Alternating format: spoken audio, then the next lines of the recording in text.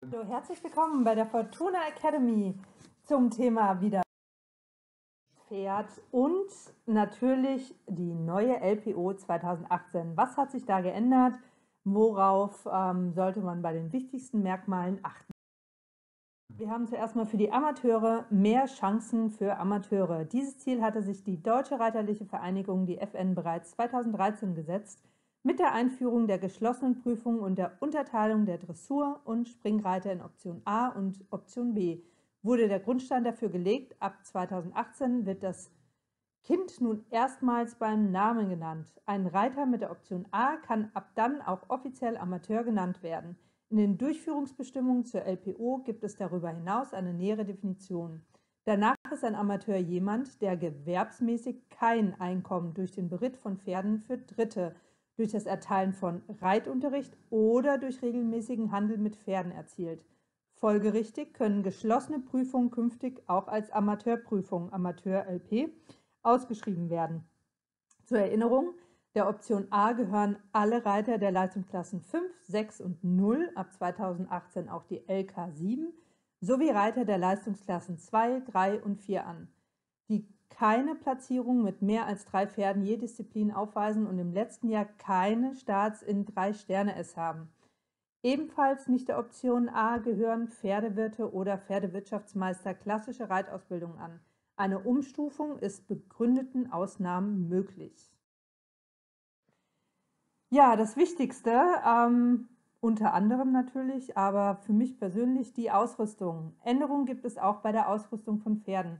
So ist in der Disziplin Springen die Verwendung einer beliebigen Zäumung sowie eines Schlaufzügels auf dem Vorbereitungsplatz nur noch ab Klasse 2 Sterne M zulässig. Das Springen mit Schlaufzügeln ist und bleibt generell verboten. Weiterhin enthält die LPO 2018 eine Klarstellung hinsichtlich der Verschnallung des Reithalfters. Es wird genau erläutert, worauf es ankommt. Das Reithalfter soll leicht anliegen und darf weder die Atmung beeinträchtigen noch die Maultätigkeit, also das Kauen des Pferdes unterbinden. Damit wird klargestellt, dass weder das festgezurrte noch das viel zu lockere sitzende Reithalfter seinen Zweck erfüllt, für eine ruhige Lage des Gebisses im Pferdemaul zu sorgen. Der komplette Ausrüstungskatalog zur neuen LPO 2018 ist ab Anfang Dezember, das hatten wir ja schon, unter www.pferd-aktuell.de slash Ausrüstung einzusehen. Ja, ähm, zu dem Thema Schlaufzügeln möchte ich ganz knapp drauf eingehen. Also für mich macht das ähm, diese Einschränkung keinen Sinn. Zumal, was soll uns das denn ab zwei Sterne M mit den Schlaufzügeln sagen? Sind ähm, dann die Reiter nur noch fähig, die Pferde zusammenzuziehen und brauchen das dann und äh, nicht mehr fähig, anständig und anatomisch korrekt zu reiten? Ähm, ich habe da noch keinen Sinn drin gefunden. Schlaufzügel gehören äh, auf gar kein Pferd und in keine Reiterhände, denn sie bezwecken keine anatomisch korrekte, losgelöste, ähm, ja, pferdegerechte Ausbildung.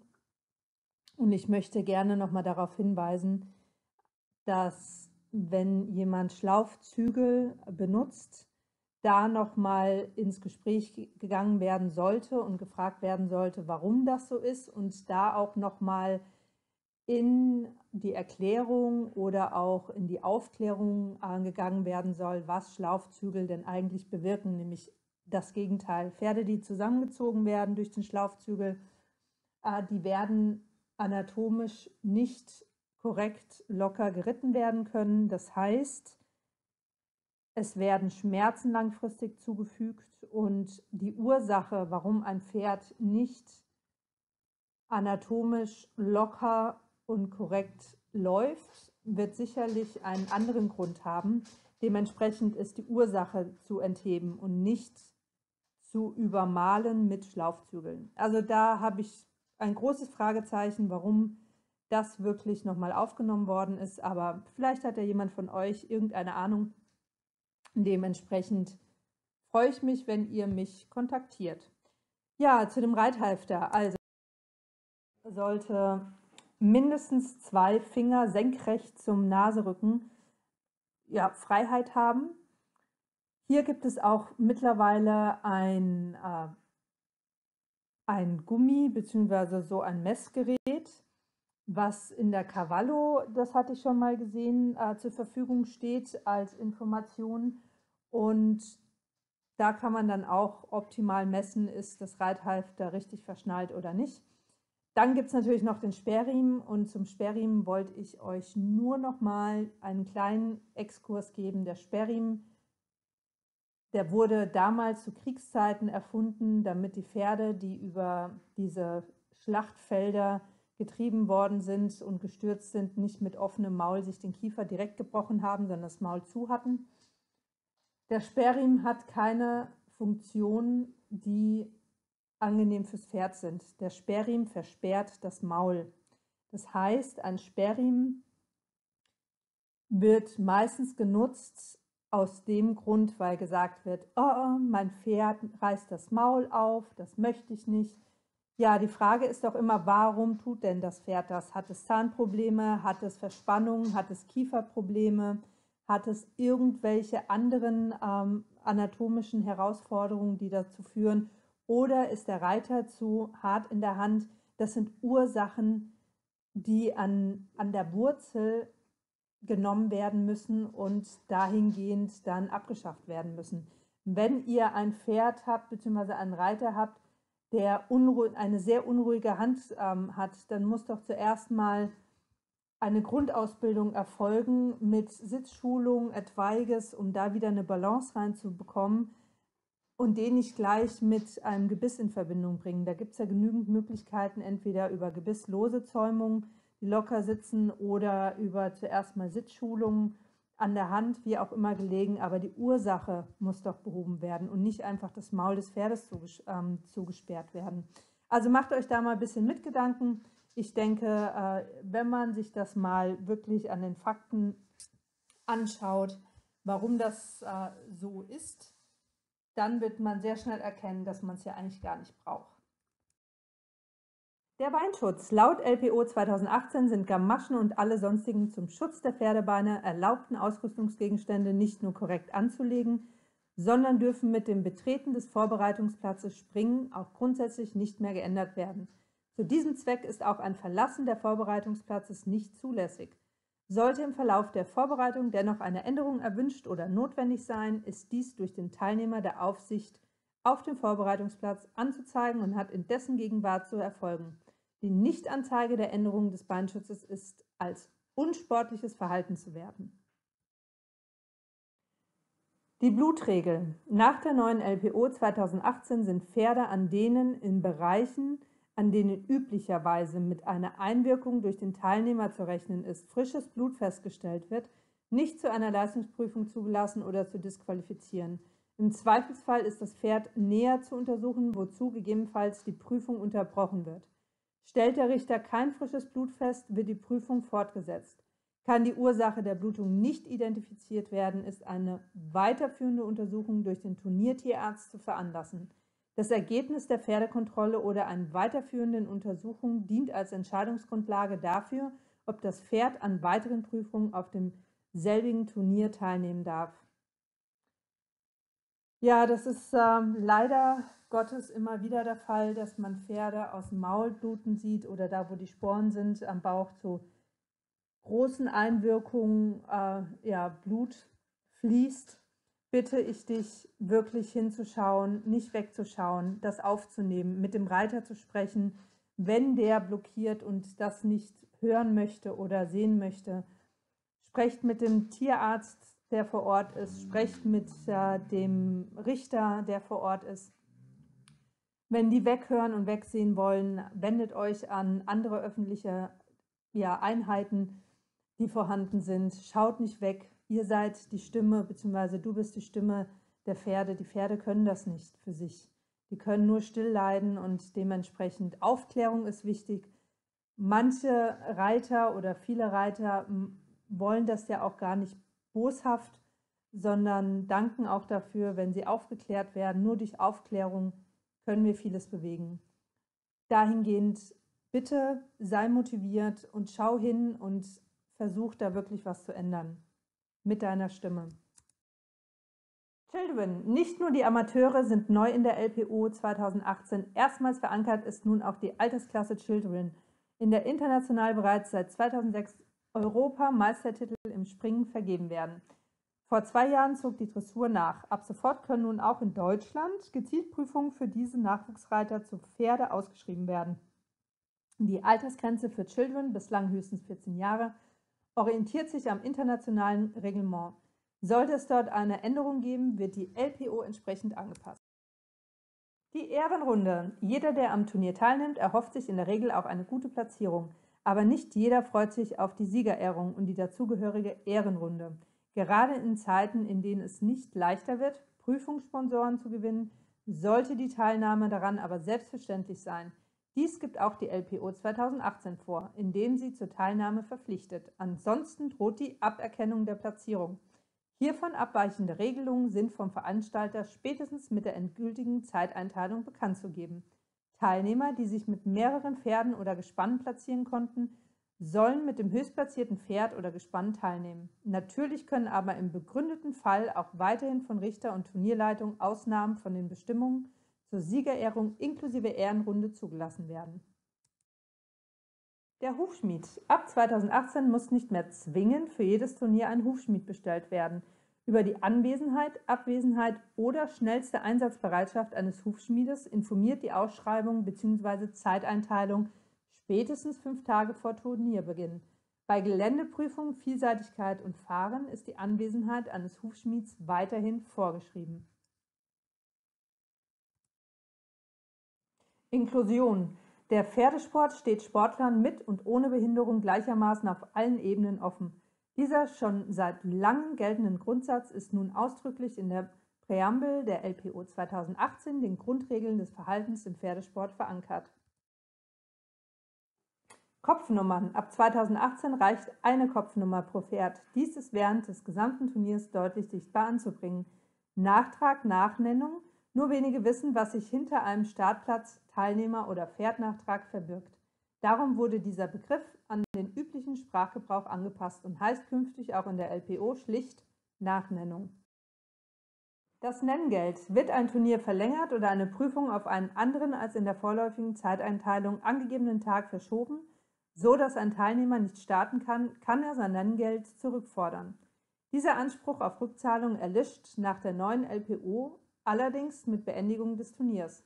Ähnlich gilt übrigens auch für Preisgelder. Diese sind während des Turniers an die Besitzer der platzierenden Pferde auszuzahlen. Eine Nachsendung muss ab 2018 nur noch in begründeten Ausnahmefällen folgen. Neon Max. Die neue LPO reagiert auch auf das leidige Thema Startplatzbegrenzung, das seit einigen Jahren die Gemüter in Turnierreiterkreisen erhitzt. In einigen Verbandsbereichen mehr, in anderen weniger. Ab 2018 sind Leistungsprüfungen mit Maximalzahlen der zulässigen Nennung mit mindestens zwei weiteren Handicaps auszuschreiben, einer räumlichen Beschränkung zum Beispiel auf den Regionalverband sowie einer weiteren Einschränkung zum Beispiel Vorerfolge. Ziel der Neuerungen ist es, dass nicht diejenigen zum Zuge, die am schnellsten ihre Nennung abgeben, sondern ein zielgruppenspezifisches Starterfeld aufeinander trifft. Außerdem dürfen Reiter solche Prüfungen mit Startplatzbegrenzung maximal für zwei Turniere je Veranstaltungstag gleichzeitig nennen. Auch dies soll dazu beitragen, den Nennvorgang zur Entschleunigung und damit auch zu einer höheren Startplatzerfüllung als bisher beitragen. Ohne Wertung. Das kann schon mal passieren. Eine Prüfung misslingt total. Im Falle von gravierenden Mängeln oder hohen Wertnotenabzügen entlassen die Richter den Teilnehmern gerne einmal ohne Wertung. Dieses in der Praxis gebräuchliche Ergebnis kann nach einer TORIS-Anpassung ab 2018 nun auch so veröffentlicht werden. Dies gilt nicht für Teilprüfungen, eider kombinierten Prüfungen. Ohrenschutz. Das Verbinden des Ohrenschutzes mit dem Nasenriemen ist nicht gestattet. Der Bereich der Augen und des Nasenrückens muss frei bleiben. Das Ohrenspiel darf nicht beeinträchtigt sein. Wird lärmdämmendes Material verwendet, darf dies nicht in den Gehörgang bzw. die Ohrmuscheln hineinreichen. Geräusche und der Gehörsinn dürfen nicht ausgeschaltet werden. Äh, ja, das werdet ihr auf manchen Trabrennen äh, sehen, was da für furchtbare kreative Umsetzung von, ähm, ja, von Kopfzäumungen vorhanden sind. Äh, ich habe es auf Turnieren bislang nur mit diesen Ohrenstöpseln gesehen, beziehungsweise Ohrenkugeln gesehen, dass da äh, der Lärmschutz erzeugt worden ist. Ein Pferd, was mit allen Sinnen zufrieden äh, bei euch ist, wird immer die bessere Leistung bringen. Und äh, dahingehend ja einfach mal drauf achten. Ich habe es ganz selten gesehen auf Springen- und Dressurturnieren im großen Sport, aber leider Gottes bei Rennen sehr oft. Die Zeiteinteilung. Die endgültige Zeiteinteilung für ein Turnier ist fünf Tage vor Beginn im Neon-Turnierkalender zu veröffentlichen. Sie muss folgende Informationen erhalten. Startfolgeregelung, Richtereinteilung einschließlich Aufsicht Vorbereitungsplatz, Turnierleitung sowie neuerdings auch Parcourschef und Angabe über Anwesenheit. Abwesenheit oder schnellste Einsatzbereitschaft eines Hufschmiedes. Tierschutz. Einen breiten Raum nimmt der Tierschutz in der neuen LPO ein. So muss künftig nicht nur die Ausrüstung der Pferde und der Teilnehmer, sondern auch der Umgang mit dem Pferd den Regeln der jeweiligen Reit-, Fahr- und Voltigierlehre sowie den Grundsätzen der Unfallverhütung und der Tierschutzes und gegebenenfalls der Straßenverkehrsordnung entsprechen. Gleichzeitig wird die Aufsicht auf dem Vorbereitungsplatz intensiviert. Durfte ein Richter bisher zwei benachbarte Vorbereitungsplätze beobachten, muss ab 2018 für jeden Platz ein eigener Richter eingeteilt werden. Auch die Veranstalter werden künftig ausdrücklich zur Beachtung des Tierschutzes verpflichtet. Eigentlich schon immer selbstverständlich steht es nun auch schwarz auf weiß in der LPO, dass nicht nur die Voraussetzung für eine sportgerechte, sondern auch für eine tierschutzgerechte Durchführung einer Veranstaltung geboten sein muss. Ja, und äh, dahingehend gilt es natürlich auch hier wieder als Zuschauer genau hinzuschauen und ähm, falls Konflikte entstehen, falls Pferde beeinträchtigt werden, die darunter leiden, unter dem Reiter leiden oder unter der Handhabung äh, leiden, liegt es an dir, dass du zu dem Besitzer, zu dem Reiter hingehst, aufklärst und falls der sich auch wieder nicht äh, offen oder einsichtig äh, ja, zeigt, das bitte aufzunehmen, den Richter, der vor Ort ist, den Tierärzten, die vor Ort sind und oder anderen Einrichtungen das mitzuteilen, damit dem Pferd geholfen wird. Turnierabsage. Muss ein Veranstalter sein Turnier oder eine einzelne Prüfung aufgrund höherer Gewalt absagen, verbleiben ihm jeweils 3 Euro. Bei Vielseitigkeits- bzw. Fahrturnieren jeweils 10 Euro pro reservierten Startplatz. Alles, was an Einsatz, Startgeld oder Organisationsanteil darüber hinaus bezahlt wurde, ist dem Nenner-Teilnehmer zu erstatten. Schnupperlizenz. Ab 2018 gibt es auch eine Leistungsklasse 7, LK7, für Turniereinsteiger, die mit einer Schnupperlizenz an LPO-Prüfungen der Klasse E teilnehmen. Damit werden alle Teilnehmer an LPO-Turnieren automatisch einer Leistungsklasse zugeteilt, von LK1 Topreiter bis LK7 Turniereinsteiger. Die Schnupperlizenz bleibt weiterhin kostenlos pro Reiter, allerdings nur für maximal zwei Jahre, beginnend 2018. Wer also bisher geschnuppert hat, kann dies zunächst noch für zwei Jahre weiter, weitere Jahre fortsetzen. Programmheft. Künftig muss der Veranstalter kein Programmheft mehr erstellen. Es reicht aus, wenn die Meldestelle die sportfachlichen Daten von Teilnehmern und Pferden vorhält. Ja, ihr Lieben, das war's wieder von der Fortuna Academy und ich wünsche euch noch ganz viel Freude mit euren vierbeinigen Lieben und freue mich natürlich da auch wieder über eure E-Mails, Kommentare oder Anrufe. Ich stehe immer gerne zur Verfügung. Tschüss!